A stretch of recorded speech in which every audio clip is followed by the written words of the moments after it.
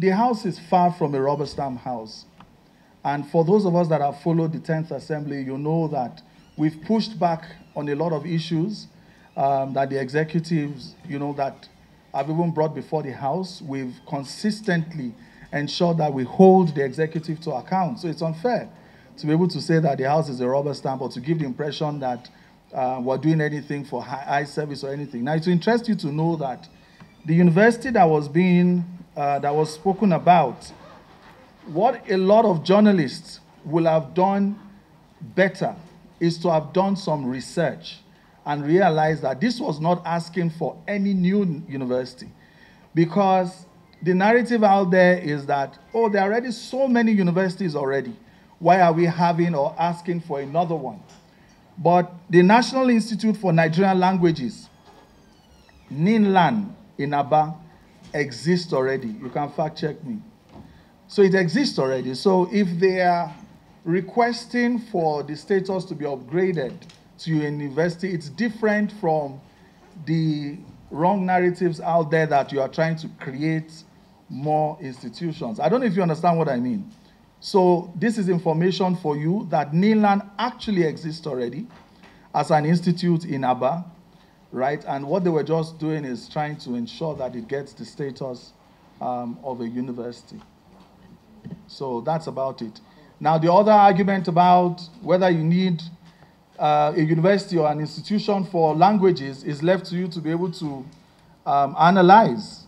Because if you don't understand that, you know, the language of a people you know, is very, very important and central, right, to the identity of a people.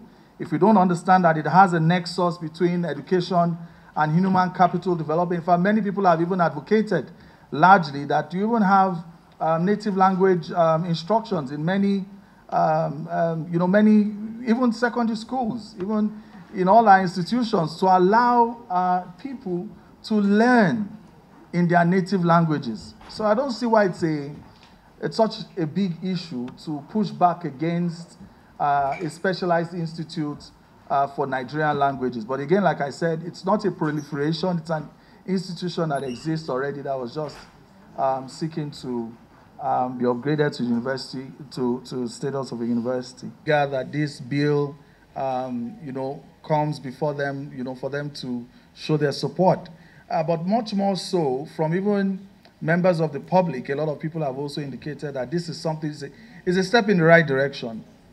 This is our seventh, we've had our seventh um, electoral cycle since the Fourth Republic, uh, commencement of Fourth Republic in 1999.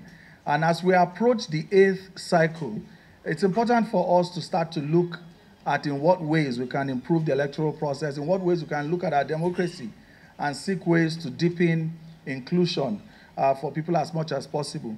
Uh, it's important that we also let you know that we have materials which we've prepared, we'll share with you. Um, we've also created a website um, which uh, I'll just tell you what the website is independent.ng. Uh, www.independentcandidacybill.ng. That's www independent independentcandidacybill.ng where you can find a lot of information, especially information on what the bill is not, because there's a lot of misconceptions around it and what you know the technical details of it. Please, you can be able to find um, a lot of information on that on that website. You want to add something?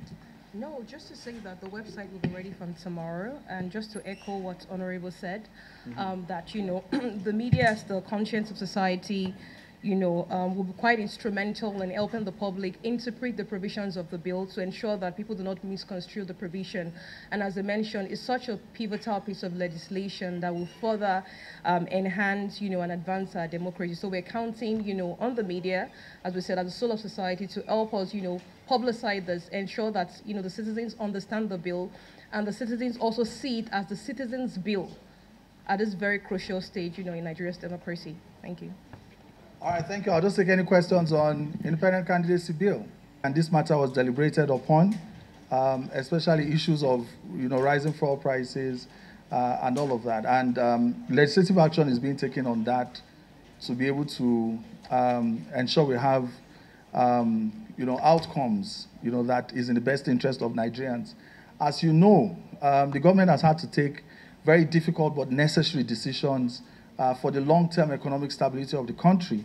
Um, you know, and part of it is the regulation of, of um, you know, that space to ensure that, you know, um, the Dangote refinery can also be able to, um, you know, sell to, you know, um, anybody that's able to buy, you know, distributors, as it were.